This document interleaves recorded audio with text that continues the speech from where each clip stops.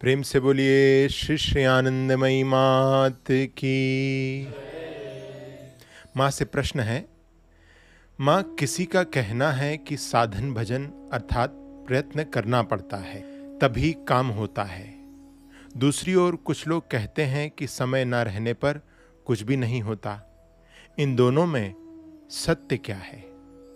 माँ, दोनों ही सत्य हैं। बात यह है, जब चेष्टा के बीच में हो, तब चेष्टा करने की ज़रूरत है। कब वह वक्त आएगा, कोई नहीं जानता। बाढ़ के पानी की भांति आता है और सब बहा ले जाता है। तुम्हारा कर्तव्य है, प्रयत्न करते रहना। जब तक तुम में बुद्धि है, तब तक प्रयत्न करना ही करणीय है। समय की अपेक्षा करना और उनके ध्यान में रहना दोनों ही ठीक है। प्रश्न। कृपा सृपा कुछ नहीं है। अपना काम बिना स्वयं किए कोई उपाय नहीं है। दूसरा भक्त, यह जो काम करते आ रहे हैं, यह भी उन्हीं की कृपा है। माँ हँसते हुए दूसरे व्यक्ति से बोली, पिताजी, बात क्या है जानते हो? एक ऐसी अवस्था होती है जब कृपा का बोध होता है। जब तक वह अवस्था नहीं आती तब तक यही वह सोचते हैं कि मैं ही सब कर रहा हूँ। यही और क्या? असल में यही बात सच है कि बिना उनकी कृपा से कोई सोच नहीं सकता। प्रश्न, माँ, हम लोगों का सचमुच होगा? माँ, ज़रूर होगा। तुम लोग नहीं होगा नहीं होगा, यह भावना मन में कभी ना लाओ। देखते नहीं कि भगवान को सोचते सोचते तत्भावापन्न हो जाने में आता है। इसलिए नहीं होगा नहीं होगा, सोचने की ज़रूरत नहीं। होगा होगा, सोचते रहने पर हो जाता है। संशय करना पाप है। तुम लोग चिंतित क्यों हो? सभी का ही होगा। प्रश्न, माँ, अहंकार आदि उन्होंने हमारे भीतर क्यों भर दिए हैं? माँ, किसने भर दिए हैं? वह भी तो उन्हीं का ही एक रूप है। तुम भी तो वही हो। बड़े मज़े की बात है। तुम सोचते हो तुम उनसे अलग हो। मनुष्य जन्म पाकर कुछ भी ना करना क्या उचित है? हर कोई पशु पक्षी की तरह अपना पेट भरता है। मान लो आज मज़े में हो, पर कल हज़ार दुख के पहाड़ ना टूट पड़ेंगे। इसकी निश्चितता क्या है? इसलिए कहती हूँ कि इसके लिए पेंशन का प्रबंध करो। यह पेंशन जब तक श्वास है, तब तक मिलता रहेगा और वह पेंशन कभी नष्ट नहीं होगा। प्रश्न, माँ शरीर की रक्षा की ज़रूरत होती है। अगर शरीर नहीं रहेगा तो साधन भजन कैसे करूँगा? माँ, शरीर रक्षा क्यों करोगे? उस ओर ध्यान देने की ज़रूरत है। अगर मन में यह रहे कि उन्हें बुलाऊँगा, इसके लिए शरीर रक्षा की ज़रूरत है तो उतना ज़रूर करोगे।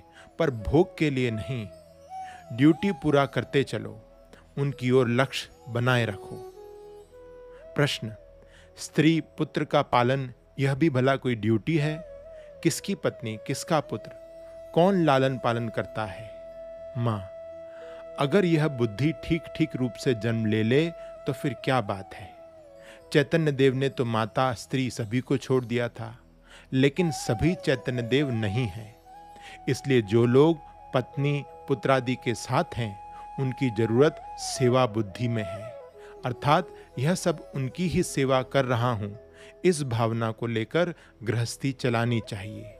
और कहना यह है कि जितने दिनों तक संयम व्रत लिया जा सके, महीने में दो चार दिन या जिनमें शक्ति है, वे एक महीने तक लें।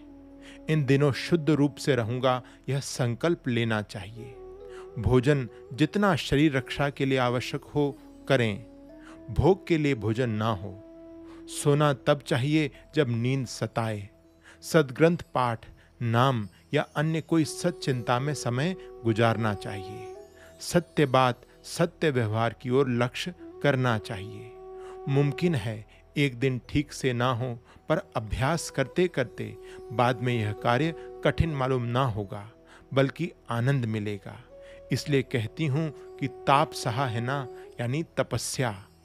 भगवान के लिए तपस्या करो, अर्थात ताप को सहन करो। गुरु कौन है? न केवल पिता, माता, बल्कि जिनके निकट हम लोग गुड़ विषय की जानकारी प्राप्त करते हैं, वे सभी गुरु हैं। जो मार्ग का जरा सा भी पता देते हैं, वे ही गुरु हैं। जो बंद है, वही जीव है। गुरु के वाक्यों में अविचलित निष्ठा रखना इस मार्ग में सहायता पहुंचाती है। एकम ब्रह्म द्वितीयम नास्ति। एक आत्मा और क्या? प्रश्न। माँ, भगवान के नाम और बीज में क्या अंतर है? माँ, बीज मंत्र में गुरु शक्ति से शरीर में झंकार होता है और मंत्र चैतन्य होकर उसी लक्ष्य की ओर पहुँच जाता है। साधारण नाम में भी यही भावना उत्पन्न होती है।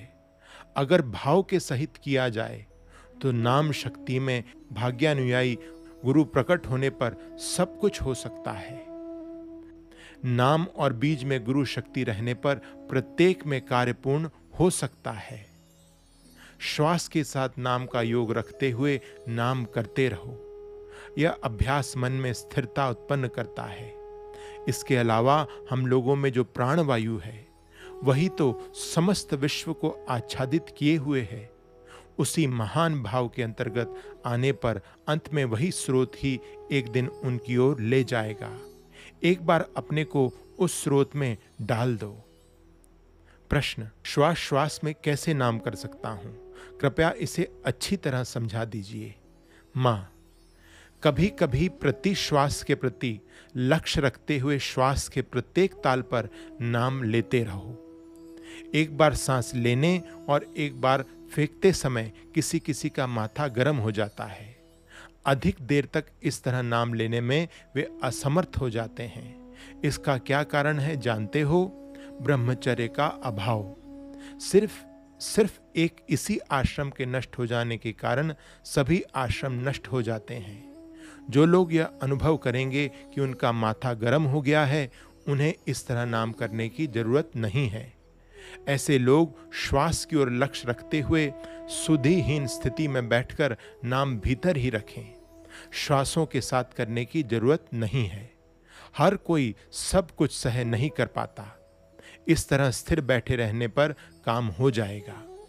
दूसरी ओर कहा जाता है कि मन, मंत्र श्वास को एक कर लो।